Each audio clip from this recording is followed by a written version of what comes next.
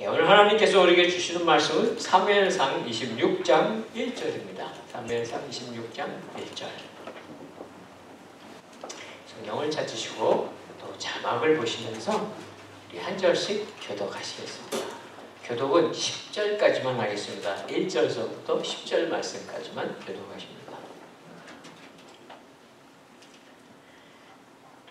십 사람들이 기부하에 있는 사울에게 와서 말했습니다. 다윗이 여시몬 맞은편에 있는 하길라 산에 숨어 있는 것이 분명합니다.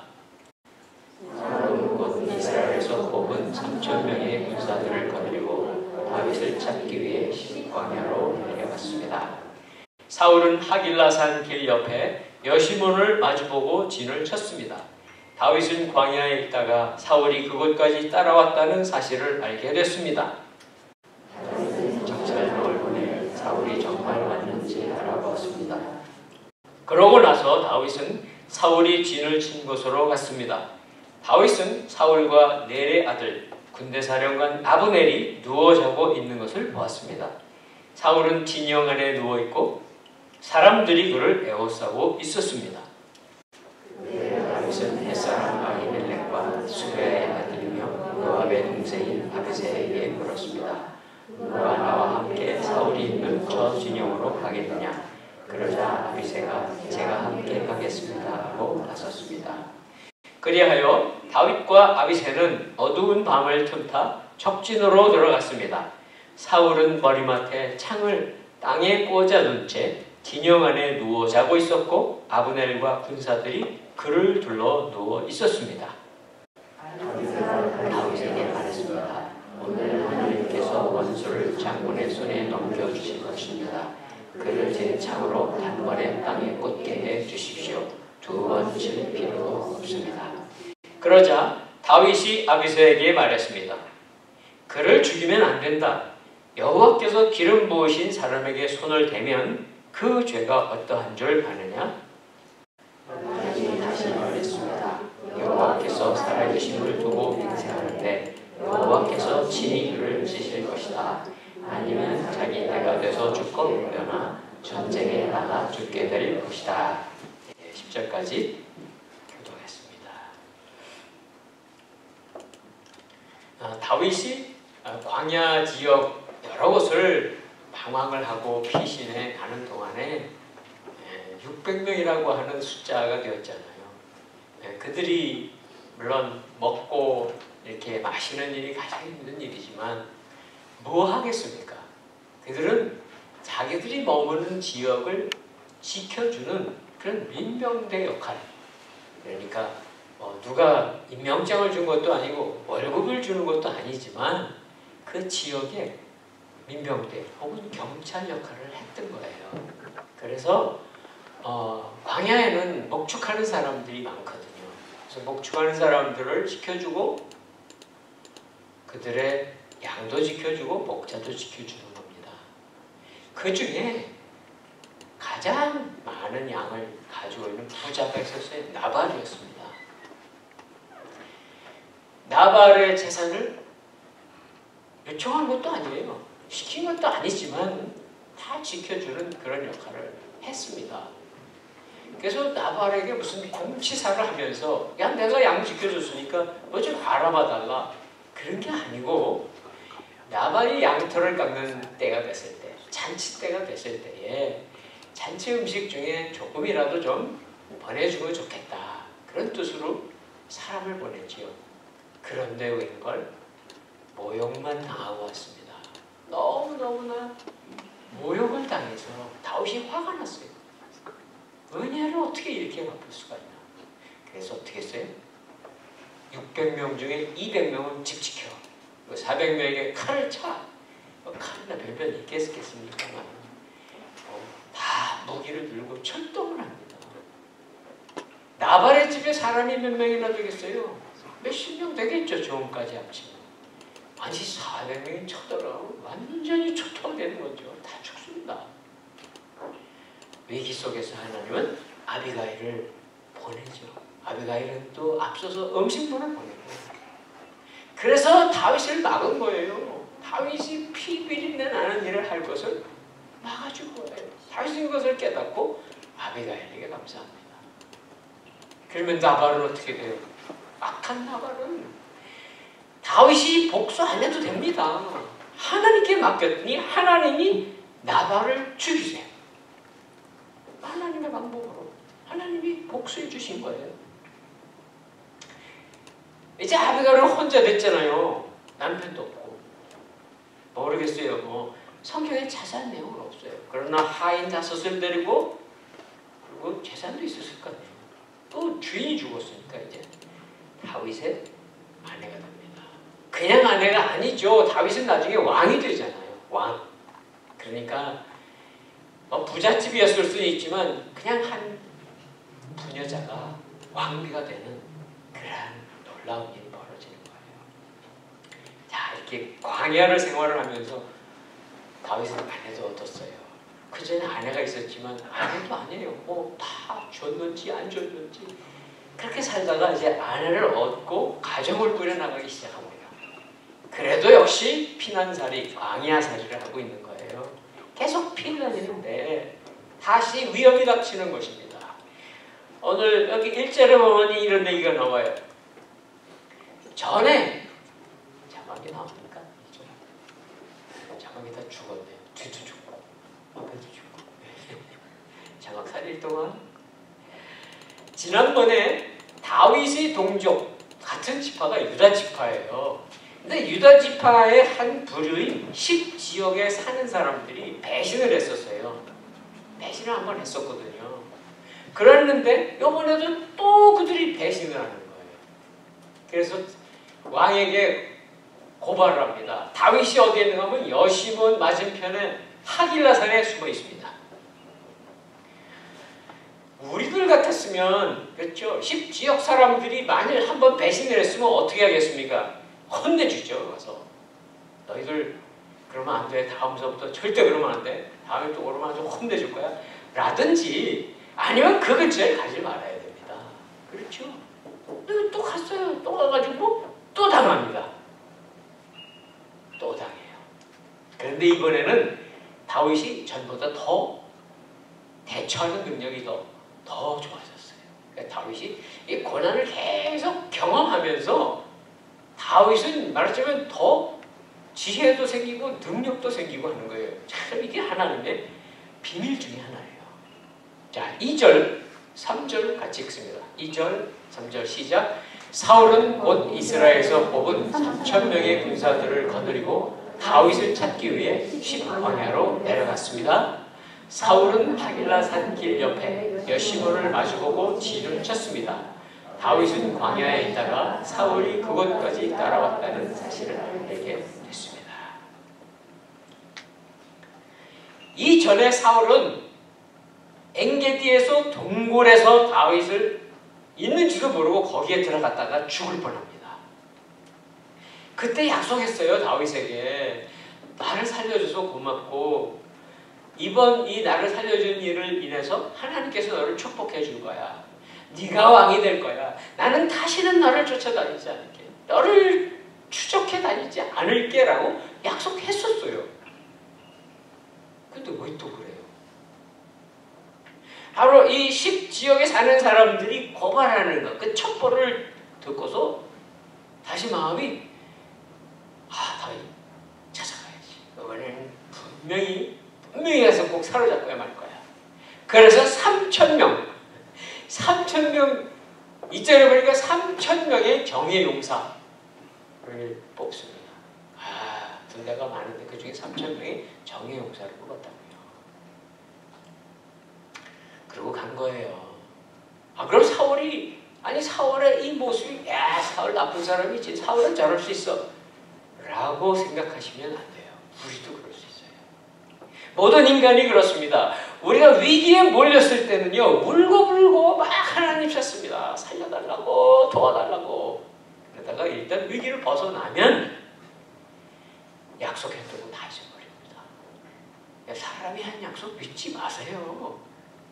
사람이 한 약속을 믿는 게 아니라 하나님, 하나님의 말씀을 믿고 사람은 얼마든지 약속을 어길 수 있잖아요. 우리는 뭐 우리 성도분들 절대 그런 건 없지만 전에 그런 분이 한 분이 계셨어요. 뭐 그분도 더는 그런 일을 안 하지만 처음에 이렇게 가서 뭐 이렇게 심심하니까 소일서가 도박을 한 거예요. 여기 도박하는 데 많죠, 이제 오래건도 그래. 처음에 조금씩 있다가 나중에 눈을 왕창 잃었어요. 아 다시는 안 하리라. 안 하죠. 그렇게 맹세를 합니다. 그런데 시간이 지나간 후에 맹세를 잊어버려요. 그리고 가서 옛날에 한 것처럼 하리라. 내가 다른 방법으로 하리라 고 또 왕창 또 혼납니다. 그렇습니다. 세상 사람들이 아무리 약속을 하고 누구하고 약속을 하고 자기 자신하고 약속을 한다고 해도 약속 지키기 어렵습니다. 왜냐하면요. 유혹이 있잖아요. 뭔가 나를 이롭게 할 것 같은 그런 생각이 들기 때문에 그래요. 사울도 마찬가지죠. 사랑하는 성도 여러분, 사람이 하는 약속 믿지 마시고요. 분명한 우리에게 주신 약속이신 하나님의 말씀, 변치 아니하시는 약속의 말씀 붙잡기를 바랍니다. 예수 그리스도 그 주님의 말씀이 약속이었던 그 말씀이 우리에게 오신 분이에요. 하나님 말씀하셨어요. 주의 말씀은 내 발의 등이다. 깜깜한 길을 갈 때 플래시를 비치듯이 내 발의 등이요. 내 길에 빛이 되신다고 말씀하셨잖아요. 그리고요. 혼자서는 안 돼요. 혼자서. 절대 혼자서는 안 돼요. 예수님, 우리 주님은 어떻게 말씀하셨는가 하면 너희는 그리스도의 몸이다. 바울 사도를 통해 하신 말씀이지만 그리스도의 몸이요 지체의 각 부분이라고 하셨어요. 그리고 말씀하셨어요. 예수님이 친히 뭐라고 말씀하셨냐면 포도나무 가지가 포도나무에 붙어 있으면 열매를 맞는다. 저절로 맺게 된다. 많이 맺게 된다. 우리가 그렇습니다. 우리가 막 애를 쓰고 막 머리를 그냥 막 회전시켜서 그래가지고 열매 맺는 게 아니라는 거죠. 예수님 말씀대로 예수님을 떠나면요 아무것도 맺지 못합니다. 세상에 뭔가 맺은 것 같지만 그 맺은 열매 그렇게 오래가지 않지 않습니까? 사절 보세요 사절. 그러니까 이제 다윗은 그동안 오랜 세월 수년 동안의 광야 생활을 통해서 이제 노련해졌어요. 안테나는 없어도 안테나가 있습니다. 물론 다윗의 안테나는 성령 하나님이시죠. 그래서 위기를 느끼는 거예요. 그래서 정찰병을 보내기로 합니다. 정찰병. 그러니까 정찰병을 보내는 것은 사울의 군대가 어떻게 하고 있는지 알아보러 가는 거죠. 그런데 지난번 동굴 사건하고 이번하고는 전혀 달라요. 똑같지는 않습니다. 그런데 공통점이 하나가 있어요. 지난번 동굴 사건이나 이번 사건이나 공통점은 무엇인가? 다윗이 자기 힘으로 자기 능력으로 한 건 아무것도 없고 하나님이 섭리하고 계신다. 하나님이 기적을 일으키고 계신다는 것만 똑같아요. 성경에 보면 구약이나 신약에 보면 하나님이 하시는 일 우리는 가끔 이상한 일 벌어지죠. 그래요. 기적이에요. 하나님 기적 같은 일이에요. 초자연적인 일을 하세요.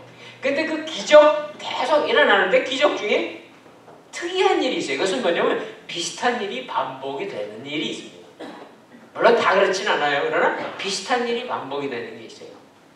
구약에 보면 홍해를 다루는 일 200만 명이나 되는 사람이 홍해 바다 그 깊은 바다를 갈고 지나간다는 건 이건 전무후무한 기적이죠.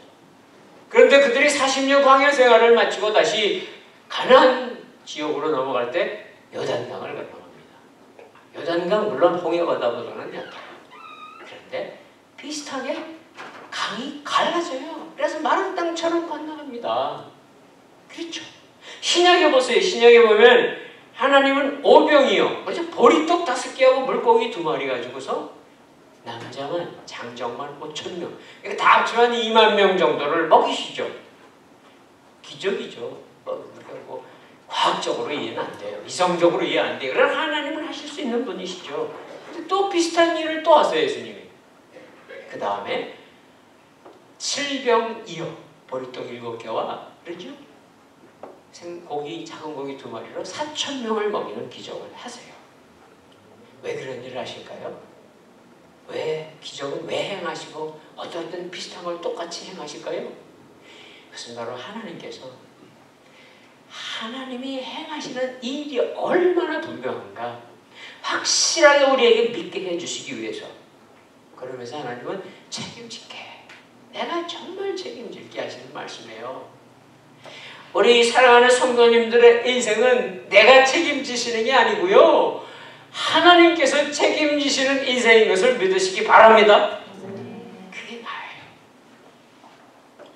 지난번 동굴 사건, 엥게디 동굴 사건에서는 사울이 제발로 들어왔어요.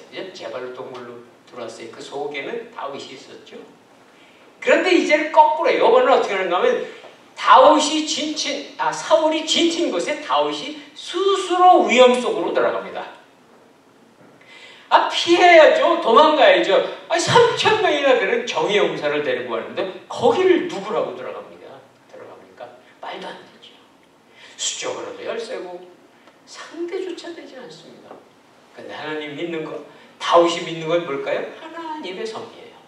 하나님의 섭리, 그것을 믿고 하나님이 나와 함께 하신다는 것을 확신하고 행동하는 거예요. 물론 다윗이 뭐 내가 한번 그래볼까 용기 갖고 한 거 아닙니다. 하나님께서 이런 마음을 주신 거예요.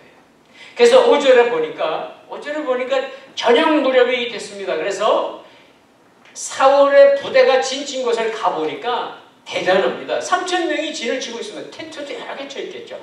이 크게 진 치고 있는데 그 중심에 병사들이 다 둘레둘레 병 진을 치고 텐트를 치고 있는데 그 중앙에 사울 왕의 텐트가 있는 거예요. 자고 있어요. 자고 있습니다. 거기 누가 자고 있으면 왕과 왕의 경호대장이 자고 있습니다. 아브넬이라고 하는 경호대장이 자고 있는 거예요. 어떻게 거기를 뚫고 들어갑니까? 안 됩니다. 안 돼요. 7절 보세요. 7절. 7절에 보니까 그래서 다윗이 사울의 진을 들어가기로 하면서 아비세에게 말합니다. 아비세에게 그러니까 6절에 그 나온 말씀이에요. 그래서 아비세가 자기가 가겠다고 그러죠. 자기가 하겠다고 그래서 아비세하고 두 사람이 몰래 들어가는 거예요. 한밤에. 그러니까 다 자고 있을 때 들어가는 거예요. 그러니까 7절에 보니까 들어가 보니까 왕이 자고 있는데 왕 옆에는 경호대장이 자야 맞죠. 그래서 그 둘레는 또 병사들이 다 빙둘러 자고 있습니다. 텐트들이 갖춰져 있습니다. 예. 아니 어떻게 들키자고 거기까지 갔을까요? 다윗이 또 이 아비세가 날아갔을까요? 사관이 날라서 거기까지 갔을까요? 아닙니다. 걸어갔습니다. 발자국 소리 내면서 걸어갔습니다.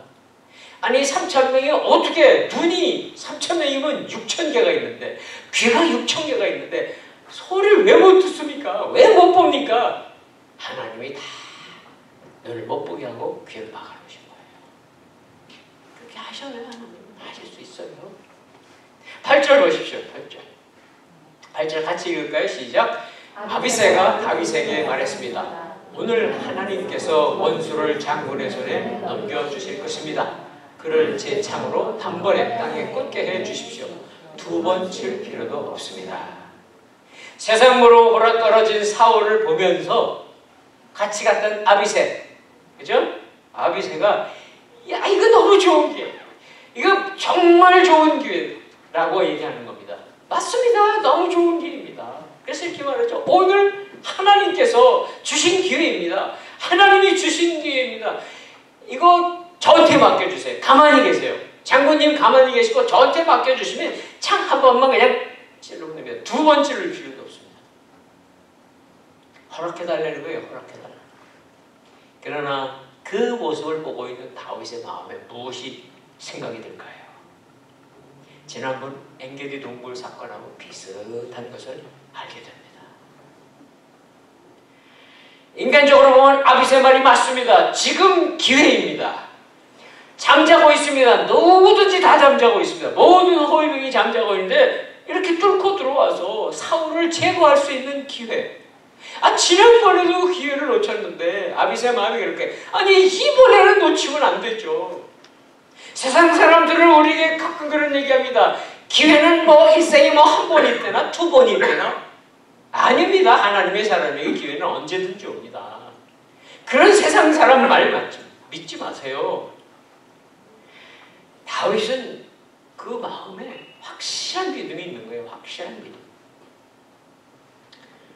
그래서 그 믿음이 어떻게 나타나는가 보시죠. 10절 같이 읽습니다. 10절. 10절 시작. 다윗이 다시 말했습니다. 여호와께서 살아계심을 두고 맹세하는데 여호와께서 친히 그를 치실 것이다. 아니면 자기 때가 돼서 죽게 되거나 전쟁에 나가 죽게 될 것이다. 다윗의 신념은 무엇입니까? 어떤 일이 있어도 하나님의 기름 부음을 받은 사람을 대적하지 않겠다는 거죠.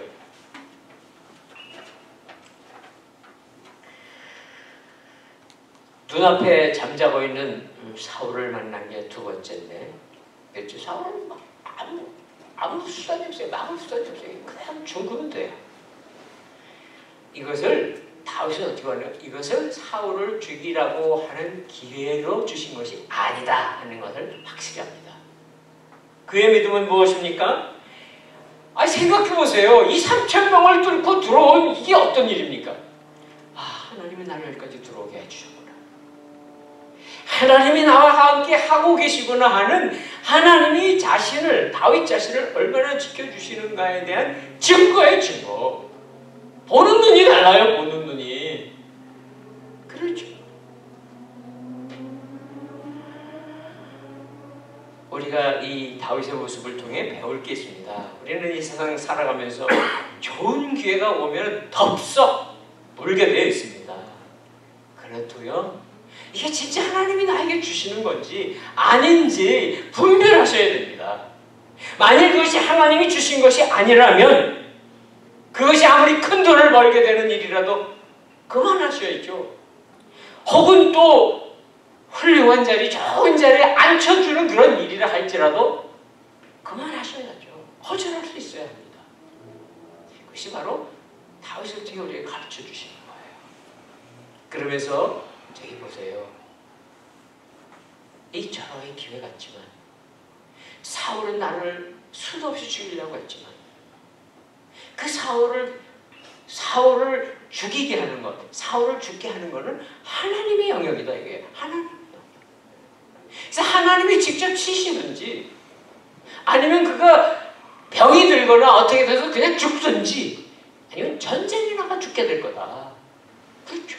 다윗은 내 손으로는 절대 사울에게 손 하나 안 되겠다는 거예요. 이 말 그대로 이것은 예언이에요, 예언. 다윗이 한 예언인데 결국 사울 왕은 나중에 전쟁에 나가서 죽습니다. 그것도 다윗하고 어떻게 인연이 맺을 뻔하게 돼요. 나중에 또 설명할게요. 그런데 하나님은 기가 막히게 다윗하고는 아무 상관없이 사울이 전쟁에서 전사하게 만드어요 자, 근데 여기서 또 한 가지 보세요. 다윗이 말하면서 이렇게 말합니다. 여호와께서 살아계심을 두고 맹세한다. 하나님께서 살아계심을 믿는 사람과 그렇지 않은 사람은 전혀 다릅니다. 사랑하는 성도 여러분, 하나님 살아계시죠? 아멘. 살아계신 것을 믿는 게 우리입니다. 그러면 하나님이 살아계신 것을 믿는다는 것은 어떻게, 어떻게 살아야 되는가? 히브리서 11장 6절 혹시 자막 준비되어 있습니까? 네. 없어도 돼요. 오늘 홍사와 형제가 오늘 나올 줄 알고, 어, 있네요? 예. 한번 같이 읽죠, 그러면. 시작. 믿음이 없이는 하나님을 기쁘시게 하지 못하나니, 하나님께 나아가는 자는 반드시 그가 계신 것과 또한 그가 자기를 찾는 자들에게 상 주시는 이심을 믿어야 할지니라. 아멘. 그래요. 하나님은 살아계셔요. 그래서 믿음을 가졌다고 하는 게 뭐냐? 믿음을 가진 것은요, 하나님이 살아계신 것, 그걸 인정하는 거예요.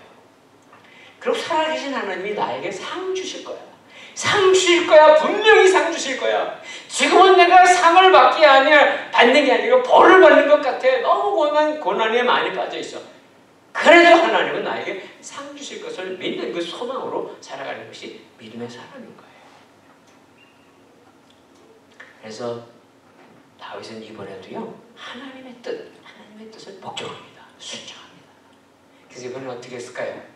지난번 엥게리 동굴에서는 이 사울의 옷자락만 살짝 비었습니다. 그것도 굉장히 미안해하면서 송구스러워하면서 비었죠. 이번에는 사울이 자는 그 왕이 자는 머리에 꽂혀있던 왕의 창 그다음에 왕이 마시는 물병이 있었어요. 물통. 그 물통 두 개를 몰래 가지고서 진에서 빠져나옵 물론 빠져나올 때도 아무도 못 들었고 아무도 못 받고 다 잤습니다. 3천 명이. 이렇게 다윗은 증거물을 확보한 다음에 이제 건너편 산 꼭대기로 피신했습니다. 그리고 나서 다우, 다윗이 사울의 진을 향해 소리 지릅니다. 11절 같이 읽습니다. 11절 시작. 아, 아, 아, 죄송합니다. 14절입니다. 14절. 14절 시작. 그가 사울의 군대와 네리의 아들 아브넬에게 소리쳤습니다. 아브넬아, 내게 대답하여라. 그러자 아브넬이 대답했습니다. 왕에게 소리치는 녀석이 누구냐? 아, 한밤중에 열심히 잠을 자고 있는데 소리가 나는 거예요. 아브넬아, 아브넬은 사울의 경호대장이잖아요. 아브넬은 내게 대답해라. 아, 그럼 아브넬이 대답하죠. 지금 이게 대답합니다. 대답의 내용이 좀 이상해. 내용이 이상하죠. 그래 나다. 너 누구냐? 이래야 맞죠. 근데 뭐라고 대답해요? 왕에게 소리치는 녀석이 누구냐? 다윗이 왕에게 소리치기 쳤죠. 그 왕에게 잠자고 주무시고 계신 왕을 깨우는 것보다는 그 옆에 자고 있는 이제 아브넬을 호통치려고 깨운 거니까. 그러니까 왕도 들을 수 있습니다. 근데 여기다 성경이 왜 이렇게 기록하는지 여기 뜻이 다 있어요. 아브넬이 누군지 아셔야 돼요, 아브넬. 아브넬은 누군가 하면 사울 왕의 사촌 동생이에요, 사촌 동생. 다윗은 누구입니까? 사울의 사위입니다. 지금은 물론 사위도 아니고 역적이 되어서 쫓겨다니고 있죠. 전에도 그랬어요. 이 사촌 동생과 사위가 다 신하잖아요. 왕국에서 일어나는 일은 모든 일이 그렇습니다. 지금도 정치 세계에서 일어나는 항상 그렇습니다. 누가 더 실권을 장악하냐, 누가 더 높은 자리에 가느냐, 누가 더 왕에게 가까이 가느냐. 그 싸움했던 사람이 아브넬이에요. 아브넬. 그래서 아브넬은 사위, 사위인 다윗이 득세하지 않도록 견제했습니다. 자기 힘을 유지하려고 했었던 사람이에요. 사울이 왕이죠. 당연히 지금 왕이죠. 지금 사울의 정신 상태가 지금 어떻습니까? 오락가락합니다. 이랬다가 저랬다가 합니다. 그러니까 사실상 왕을 좌지우지하고 하는 게 누군지 아세요? 아브넬이에요. 아브넬. 그 얼떨결에 대답한 겁니다. 이게 왕에게 소리치는 녀석이 누구냐? 무슨 얘기예요? 이 말 보세요. 아브넬은 내게 대답하여라. 왕에게 소리치는 녀석이 누구냐? 그 왕이 누구란 얘기예요?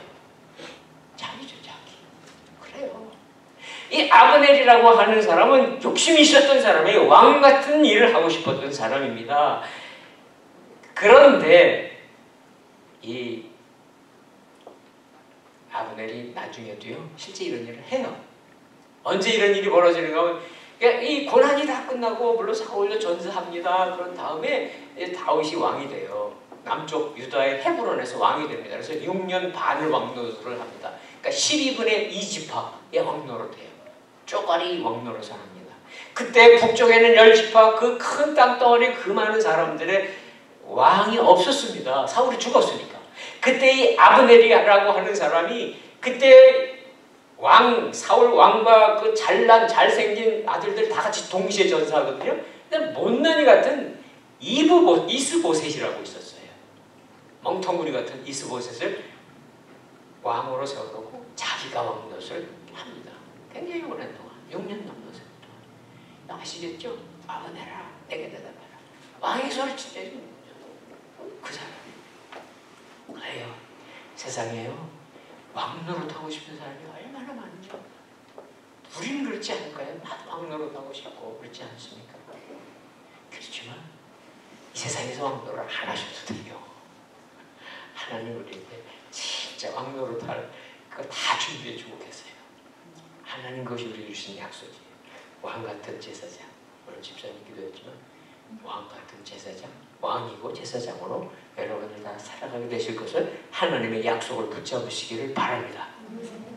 그래서 이제 호통치는 거예요. 그 뒤에 뭐 15절, 16절 보면 뭐라고 호통을 치는 거 야, 네가 경호대장이냐? 예? 경호대장 아니에요. 왕을 지키는 경호대장인데 여기 어떻게 내 주인인 왕을 지키지도 못했냐? 내가 거기까지 들어갔다 나왔어. 내 주인을 왕을 죽이려 누군가가 들어갔어. 자기가 들어간 거죠. 너 뭐하고 있었어? 그 다음 16절 보세요. 너 책임을 못 지켰어. 너희들 죽어봤다. 그렇죠. 그리고 내가 들어간 거 어떻게 아니? 바로 봐라. 왕 머리에 있었던 왕의 창과 물통이 어디 있는지 봐라. 여기 있다. 그 얘기입니다. 이 소동이 막 일어나는 동안에 그제서 사울이 깬 겁니다. 깨어나서 상황을 파악하니 야 내가 또 죽을 뻔하다 사람. 내가 또 죽을 뻔하다 사람. 아니 말도 안 되죠. 3천 명이 정의 용사를 끌고 왔는데 어떻게 죽을 뻔합니까? 낮잠 자러 동굴 들어간 것도 아닌데. 그래요. 세상 사람이요. 3천 명 아니야. 3만 명이 여러분을 죽이려고 그래도 하나님 여러분 지키시는 거 믿으시기 바랍니다. 성경은 말씀합니다. 천 명이 내 앞에서 쓰러지고 만 명이 내 오른쪽에서 쓰러진다고 할지라도 여호와 하나님은 나를 지키시는 분이세요. 그게 믿음이죠. 그게 믿음이죠. 17절 같이 읽습니다. 17절 시작. 사울이 다윗의 목소리임을 알아채고 말했습니다. 내 아들 다윗아, 내 목소리가 아니냐? 다윗이 대답했습니다. 그렇습니다. 내 주 왕이시여. 상황을 파악했어요. 아, 내가 또 죽을 뻔했는데 살아났다. 이 소리요. 내 아들 다윗아 사위니까 따지면 사위잖아요. 그러니까 그래서 전에도 한번 했잖아요. 내 아들 다윗아 이건 무슨 얘기인가면요. 살려줘서 고맙다고 얘기해요. 나 죽을 뻔했는데 또 살려줬구나.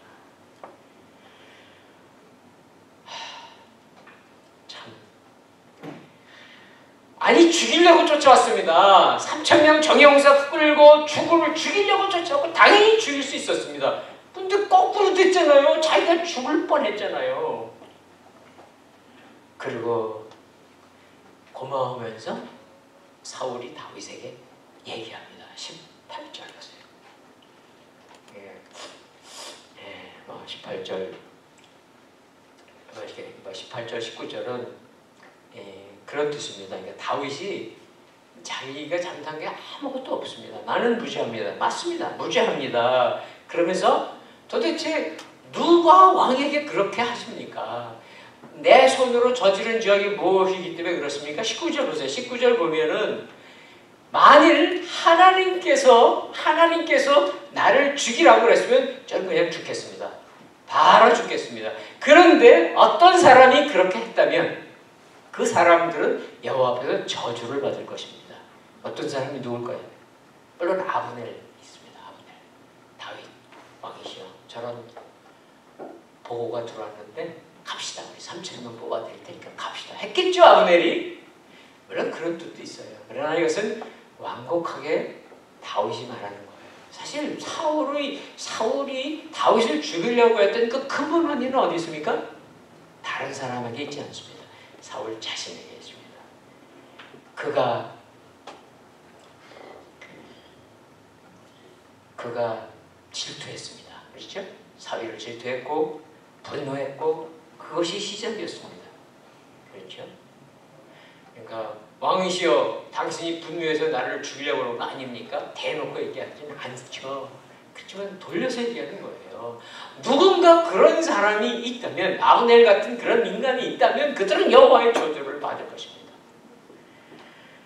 이것이 다윗이 사울 왕을 향한 자세입니다. 자 19절 보세요. 그리고 이 19절에 보면은 어, 가장 다윗이 안타까워하는 내용이 나옵니다. 그 뒷부분에 나옵니다. 이렇게 보세요. 그들은 여호와 앞에서 저주를 받을 것입니다. 다음에 보면 그들은 내게 가서 다른 신들을 섬겨라 하고 말하며 나를 내쫓았고 나를 여호와의 기업 안에 있지 못하게 하고 있습니다. 그러니까 다윗, 다윗이 쫓겨다니는 것이 얼마나 힘듭니까? 뭐, 먹지 못해서 힘들고 불안하고 두려워서 힘들지만 진짜 다윗이 힘들어하고 있는 게 무엇인가? 그래서 바로 제사 드리고 여호와 하나님께 예배 드릴 수 있는 성막이 있고 그죠? 하나님의 임재가 있는 에루살렘 그 지금 에루살렘은 아니겠죠. 그러나 그 성막에 있는 그곳에서 쫓겨나서 돌아다니는 것 그것이 너무나 힘들었던 것입니다. 사랑하는 성도 여러분, 다윗이 가장 안타까워했던 것이 이렇게 지나가듯이 나옵니다. 이게 진짜 중요한 겁니다. 우리 과연 우리가 안타까운 것이 무엇입니까? 내가 위험에 처해 있는 거요? 내가 좀 위험한 일을 이걸 어떻게 이겨야 될까? 어려운 이 삶을 어떻게 해결해야 될까? 그것이 안타까우십니까? 맞습니다. 그러나 그보다 더 안타까운 것은 무엇입니까? 다윗이 오늘 우리에게 가르쳐 주는 것은 하나님께 예배하는 특권을 빼앗기는 것이라는 거예요. 사랑하는 성도 여러분, 오늘 우리가 이렇게 예배 드리러 나온 거 하나님 얼마나 기뻐하시는지 몰라요. 그리고 이것은 우리에게는 특권이에요. 왜냐하면 하나님이 이것을 통해서 우리에게 모든 약속하신 것을 베풀어 주실 것을 우리는 다시 듣지 않아요. 다시 그 하나님의 그 놀라운 그 영광 가운데 우리가 있잖아요. 그래서 이렇게 하소연하는 거예요. 또 20절 보세요. 20절 보니까 20절 이렇게 얘기합니다. 왕이시여 왕께서 나를 잡으러 다니는 것은 마치 사냥꾼이 산에서 매출하게 그 매출하게 조그만 새입니다. 어, 그런 거와 똑같습니다. 또 벼룩 한 마리 잡으러 나오는 거랑 똑같습니다. 그래서 막 호소하는 거예요. 호소합니다. 그런 거 할 필요가 없는데. 자, 21절 읽고 마무리할게요. 21절 같이 읽습니다. 21절 다윗 사울의 이야기입니다. 21절 시작. 그러자 사울이 말했습니다. 내가 잘못했다. 내 아들 다윗아 돌아가자. 네가 오늘 내 목숨을 귀하게 여겼으니 내가 다시는 너를 미치지 않겠다. 내가 정말 어리석었구나. 내 잘못이 너무 크다. 사울은 다윗의 여러 가지 호소하는 내용, 지적하는 내용을 달리 받아들였어요. 그런데 그것은 순간입니다. 순간. 물론 순간이라도 이런 것은 다행이죠. 그렇지 않은 것만 해도 다행이죠. 또 잡으러 또 추적할 수 있었는데 그렇지만 순간이나마 정말 어린아이처럼 된 거예요. 순전해져서 자기의 잘못을 회개하고 용서를 빕니다. 다시는 안 그럴까? 다시는 너를 해치지 않겠다. 내가 잘 어리석었고 내가 잘못하고 내 죄가 너무 크다. 그런데 문제는 무엇일까요? 다시 또 되돌아가 버린다는 것입니다. 사랑하는 성도 여러분, 우리는 어떨 때 하나님 말씀을 듣잖아요. 그죠? 하나님 말씀 우리에게 하시는 거는 우리를 그냥 뭐 야단치고 징계하고 뭐 혼내키려고 하시는 건 절대 아닙니다. 하나님 말씀은 그 약속을 우리에게 깨닫게 해주시고 우리에게 정말 하나님 입에 좋은 것을 주시기 원해서 그러시잖아요. 그 말씀을 듣다가 어떨 때, 아, 그래, 내가 좀 잘못했어. 아, 그러면 안 되지. 다시 그렇게 살면 안 되지. 내가 끊을 건 끊어야지. 그런데 그것이 잠시의 후회로 다시 제자리로 돌아간다면 무슨 소용이겠습니까? 우리는 하나님의 말씀을 물론 저도 전해드리지만 여러분들 하나님 말씀 아, 은혜 받은 말씀 많이 듣고 요새 인터넷에 수없이 많은 너무나 좋은 설교 많이 있죠. 괜찮아요. 들으세요. 그런데 만약 설교를 듣고 말씀을 들었는데 야 좋다. 말씀 좋다. 그리고 돌아서 버리고 전혀 여러분에게 도움이 안 된다면 오늘 사울이나 같은 거 하는 게 뭐가 있습니까? 사랑하는 성도 여러분 우리 하나님의 말씀이 들릴 때 그래 맞아 그렇게 살아야지 그 말씀의 뿌리가 우리 영혼 속에 내리기를 바랍니다. 우리 인생이 이렇게 뿌리 내리는 인생이 되기 바랍니다. 주님 약속해 주셨습니다. 말씀을 통해서 약속해 주셨습니다. 우리가 예수 그리스도에게 붙어 있기만 하면 반드시 열매를 맺게 주시겠다고. 다윗은 그 말씀의 열매를 맺고 다윗은 이스라엘 왕이 됩니다. 하나님 나라 이 땅에 하나님의 나라를 가장 가깝게 만든 왕 다윗입니다. 사랑하는 성도 여러분 한 분 한 분 하나님의 약속이 그 말씀이 우리 인생 가운데 성취되어서 놀라운 아름다운 열매 맺는 복된 인생 되시기를 주님의 이름으로 축원합니다. 기도하겠습니다. 하나님 아버지 감사합니다. 우리를 찾아오신 하나님 이제 이 땅을 찾아오신 하나님 오신 것을 우리가 기억하고 축하하는 성탄절이 가까이 오고 있습니다. 그 주님은 다른 분이 아니고 바로 말씀이셨던 하나님이 육신으로 오신 분이십니다. 우리는 오직 주님께만 붙어 있어야 함을 다시 한번 깨닫습니다. 주님, 우리를 찾아오시는 주님을 우리가 맞아들이고 기뻐하며 또 그 귀한 주님의 삶을 함께 살아가게 도와 주시옵소서 예수 그리스도의 이름으로 기도드립니다. 아멘.